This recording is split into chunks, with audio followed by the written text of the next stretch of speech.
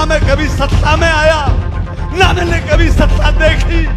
मैं हमेशा विपक्ष की भूमिका निभाई और मैं बुढ़ापे के अंदर कदम रख दिया मैंने। क्या इसीलिए कि जब सरकार आती नज़र आ रही है, तब तो मेरा टिकट काट दिया गया। पैसे का खेल हुआ है और राजनीतिक मेरी हत्या करने का प्रयास किया है।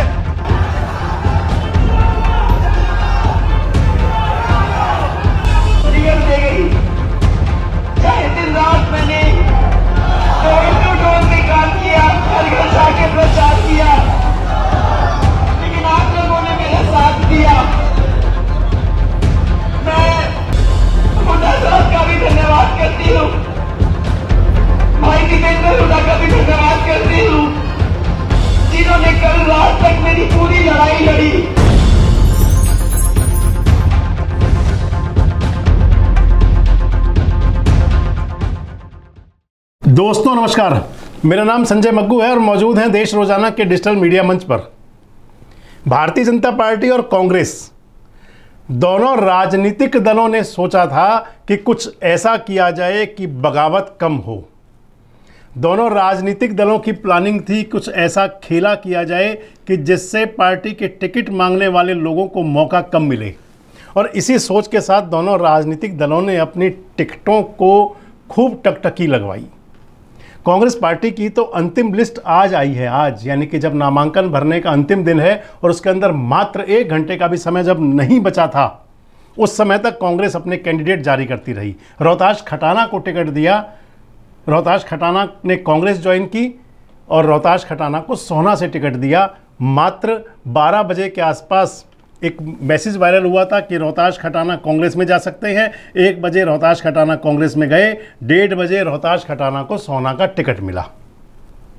जो मैं आपको बता रहा था कि दोनों राजनीतिक दलों ने, भारतीय जनता पार्टी की अंतिम जो सूची आई थी, वो कल देर रात को आई थी, तीन कैंडिडेट की सूची, जिसके अंदर महेंद्रगढ़ और दूसरा फरीदाबाद एनआईटी और तीसरा सिरसा, ये तीन नाम बाकी रह गए थे। तीन कैंडिडेट डिक्लेयर देर रात को भारतीय जनता पार्टी ने किए। कांग्रेस ने अपनी जो 90 में कैंडिडेट्स की लिस्ट है, वो सात कैंडिडेट लिस्ट उन्होंने जारी की और सात सूचियों के अंदर उन्होंने अपने 90 कैंडिडेट चुनाव मैदान में उतारे। सबसे बड़ी सूची थी जिसके अंदर 40 कैंडिडेट का नाम था, उससे छोटी सूची थी जो सबसे पहले आई थी जिसके अंदर 31 कैंडिडेट का नाम था। बाकी में किसी में एक, में किसी में दो, किसी में चार, किसी में सात, इस प्रकार से सात सूचियाँ जारी की। कांग्रेस की सोच थी कि उनके बागी ना हो और भारतीय जनता पार्टी की भी सोच थी कि उनके बागी ना हो। भारतीय जनता पार्टी की अंतिम सूची का आपको बता दूँ, जो तीन सदस्यीय सूची जारी करी भारतीय जनता पार्टी ने। उसके अंदर फरीदाबाद एन आई के लिए बीजेपी ने सतीश फागना को टिकट दिया और सतीश फागना के मुकाबले नगेंद्र भड़ाना, जो वहाँ से टिकट की दावेदारी कर रहे थे, पूर्व विधायक, वो निर्दलीय फार्म भरने के लिए नॉमिनेशन दाखिल करने के लिए आज पहुँच गए। रोड शो करते हुए। दूसरा, महेंद्रगढ़ सीट, जहाँ पर भारतीय जनता पार्टी ने कमल सिंह यादव को टिकट दिया। मैंने कहा था एक वीडियो में आपसे बात शेयर की थी कि अगर बीजेपी ने रामविलास शर्मा जी को पूरी तरह निपटाने, ठिकाने लगाने की सोची होगी तो फिर यहाँ से कमल सिंह यादव कैंडिडेट होंगे। वही हुआ। वही हुआ। रामविलास शर्मा जी अपना नामांकन दाखिल कर ही चुके हैं। और तीसरी सीट सिरसा की, जहाँ पर भारतीय जनता पार्टी से बगावती सामने आना तय है। अब अगली बात मैं आपसे करूँ तो कांग्रेस की बात। कांग्रेस के बारे में बड़ी चर्चाएँ थी कल रात को। सोशल मीडिया पर पोस्ट वायरल हो रही थी कि हिसार की जो सबसे अमीर महिला हैं पूरे देश की, और जो हिसार की विधायक रही हैं, हरियाणा सरकार की वज़ीर रही हैं, कुरुक्षेत्र के भाजपा सांसद नवीन जिंदल की माताजी, सावित्री जिंदल चर्चा थी कि सावित्री जिंदल कांग्रेस में शामिल हो सकती हैं, लेकिन वो हो ना सका। आज सावित्री जिंदल निर्दलीय नामांकन करने पहुँची। हिसार से उन्होंने अब इंडिपेंडेंट कैंडिडेट के तौर पर नामांकन कर दिया है। और मैं आपको बता दूँ कि हिसार का चुनावी रणरोचक होगा और सावित्री जिंदल, कमल गुप्ता और कांग्रेस के बीच तिकोना मुकाबला होगा। अगली विधानसभा की आपसे मैं बात करूँ। तो जिन कैंडिडेट का टिकट कटा, जिनको टिकट नहीं मिला फरीदाबाद से, जो फरीदाबाद की तिगांव विधानसभा सीट है, यहाँ पर कांग्रेस ने ललित नागर को टिकट नहीं दिया। ललित नागर का टिकट कटा। पिछले चुनाव में ललित नागर कैंडिडेट थे। ललित नागर नामांकन करने के लिए निर्दलीय पहुँच गए। रोते बिलखते हुए उन्होंने अपने समर्थकों, अपने कार्यकर्ताओं के बीच कहा।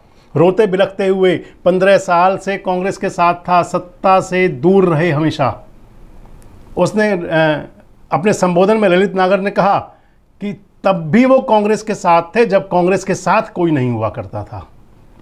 रोते बिलखते हुए ललित नागर नामांकन करने गए। पिछले पंद्रह वर्ष के अंदर ना मैं कभी सत्ता में आया, ना मैंने कभी सत्ता देखी।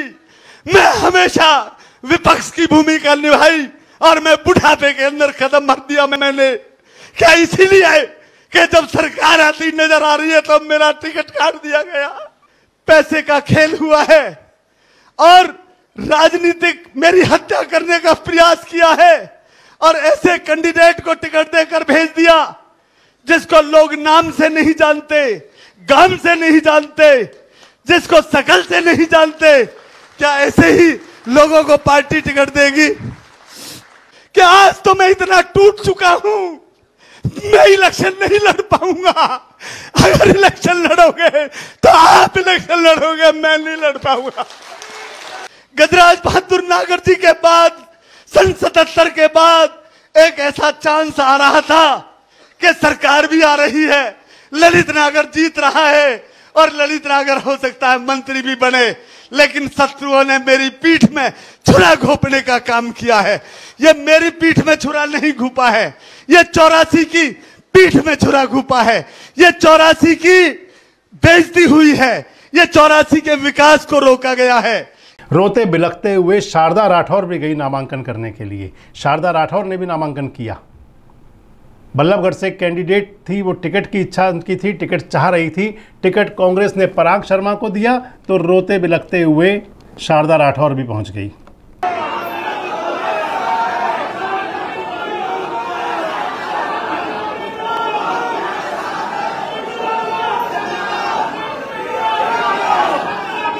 दे गई चाहे मैंने डोर टू डोर में काम किया घर घर जाके प्रचार किया।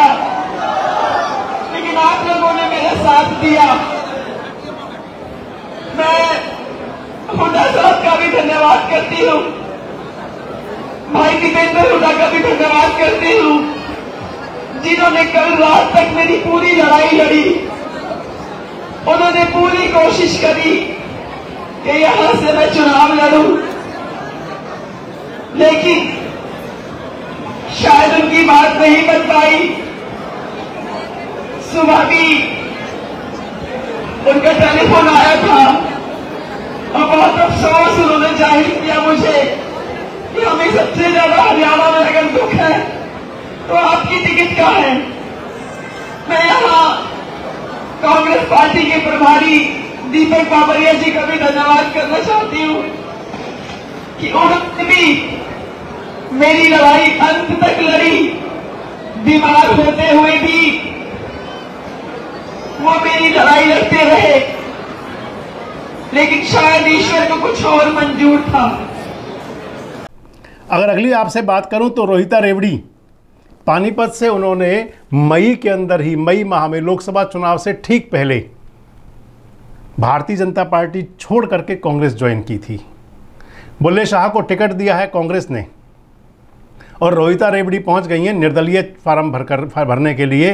कांग्रेस छोड़ दी उन्होंने। चार लाइन की चिट्ठी लिखी कांग्रेस के प्रदेश अध्यक्ष उदय भान को कि कांग्रेस छोड़ रही हूँ। इनके अलावा अगर आप कहें तो नलवा से संपत सिंह तैयारी कर रहे हैं। संपत सिंह ने अपनी पंचायत बुला ली, निर्दलीय तैयारी कर दी। और तमाम विधानसभा सीटें हैं, क्योंकि अभी नामांकन का दौर चल रहा है। तीन, चार बजे तक नामांकन होंगे, क्योंकि जो लोग पहुँच जाएँगे एसडीएम कार्यालय में, उन सबके नॉमिनेशन फॉर्म लिए जाएँगे। आपको बताऊँगा कि कितने कांग्रेस के बागी हुए। लेकिन ये ज़रूर है कि कांग्रेस और भाजपा ने जो सोचा था कि टिकट की टकटकी लगवाने दो लोगों को, जब टिकटें लेट होंगी तो भागम भाग कम होगी, निर्दलीय कैंडिडेट कम होंगे, बगावत कम होंगी, लेकिन उसका कोई जो रणनीति थी, वो कामयाब नहीं हुई। आपको क्या लगता है कांग्रेस और भाजपा दोनों में कितने बगावती हो सकते हैं? आपको क्या लगता है कि ये बगावती कांग्रेस और भाजपा का कितना खेल बिगाड़ेंगे? और क्योंकि अब नामांकन का कार्य पूरा हो जाएगा और अब चर्चाएँ शुरू होंगी कि किसमें कितना दम है तो आपको क्या लगता है? कांग्रेस या भारतीय जनता पार्टी और या फिर त्रिशंकु विधानसभा? हरियाणा में क्या होगा? कमेंट्स बॉक्स में ज़रूर बताएँ। जुड़े रहें हमारे साथ। देखते रहें देश रोज़ाना। हमारे साथ जुड़े रहने के लिए सब्सक्राइब करें देश रोज़ाना के यूट्यूब चैनल को और नई वीडियो की नोटिफिकेशन पाने के लिए बेल आइकन ज़रूर दबाएँ। अगर आप ये वीडियो फेसबुक या इंस्टाग्राम पर देख रहे हैं तो पेज को लाइक और फॉलो ज़रूर करें और ज़्यादा से ज़्यादा शेयर करें।